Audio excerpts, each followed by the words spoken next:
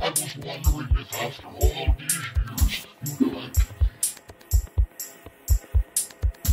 me. But I ain't done much either.